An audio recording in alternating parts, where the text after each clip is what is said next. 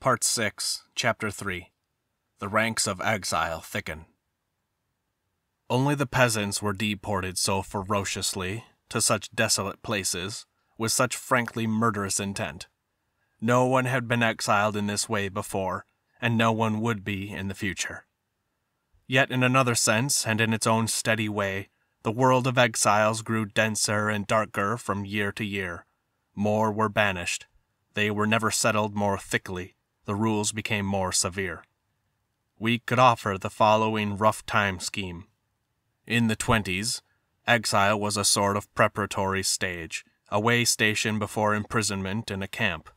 For very few did it all end with exile. Nearly all later were raked into the camps. From the mid 30s, and especially from Beria's time, perhaps because the world of exile became so populous, think of how many Leningrad alone contributed it acquired a completely independent significance as a totally satisfactory form of restriction and isolation. In the war and post war years, the exile system steadily grew in capacity and importance together with the camps. It required no expenditure on the construction of huts and boundary fences, on guards and warders, and there was room in its capacious embrace for big batches, especially those including women and children. At all major transit prisons, cells were kept permanently available for women and children, and they were never empty. Exile made possible a speedy, reliable, and irreversible cleansing of any important region in the mainland. The exile system established itself so firmly that from 1948 it acquired yet another function of importance to the state that of rubbish dump or drainage pool where the waste products of the archipelago were tipped so that they would never make their way back to the mainland. In spring 1948, this instruction was passed down to the camps. At the end of their sentences, 58s, with minor exceptions, were to be released into exile. In other words, they were not to be thoughtlessly unleashed on a country which did not belong to them, but each individual was to be delivered under escort from the camp guardhouse to the commandant's office in an exile colony, from fish trap to fish trap. Since the exile system embraced only certain strictly defined areas, these together constituted yet another separate, though interlocking, country between the USSR and the archipelago, a sort of purgatory in reverse, from which a man could cross to the archipelago but not to the mainland. The years 1944 to 1945 brought to the exile colonies unusually heavy reinforcements from the liberated, occupied, territories, and 1947 to 1949 yet others from the Western republics. All these streams together, even without the exiled peasants, exceeded many times over the figure of 500,000 exiles, which was all that Tsarist Russia the prison house of nations, could muster in the whole course of the 19th century. For what crimes was a citizen of our country in the 30s and 40s punishable by exile or banishment? The commonest crimes can be easily indicated. 1. Belonging to a criminal nationality. For this, see the next chapter. 2. A previous term of imprisonment in the camps. 3.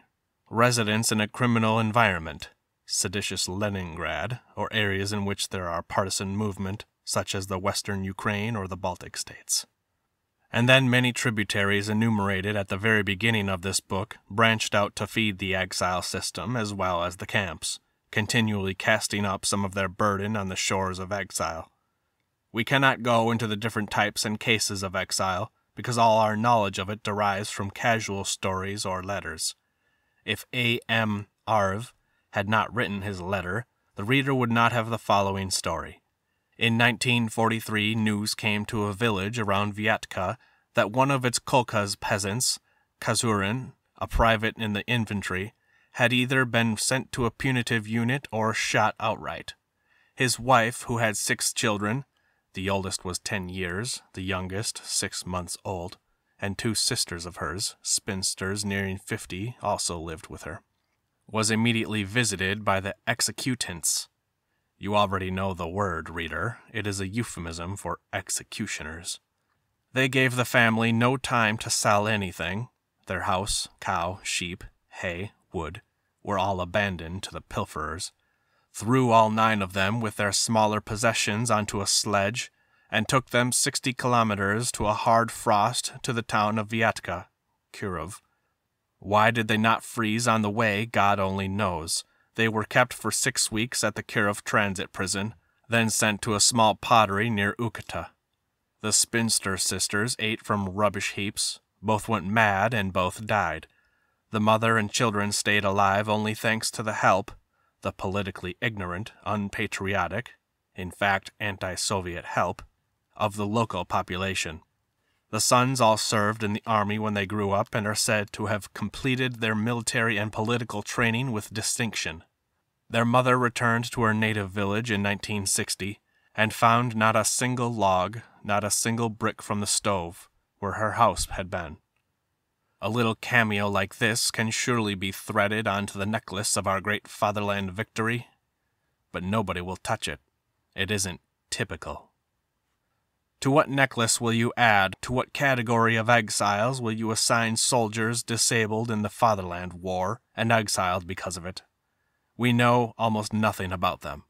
They were exiled to a certain northern island, exiled because they had consented to be mutilated in war for the glory of the fatherland and in order to improve the health of a nation which had by now won such victories in all forms of athletics and ball games. These luckless war heroes are held there on their unknown island, naturally without the right to correspond with the mainland. A very few letters break through, and this is how we know about it. And naturally on the meager rations, because they cannot work hard enough to warrant generosity. I believe they are still living out their days there. End of Part 6, Chapter 3.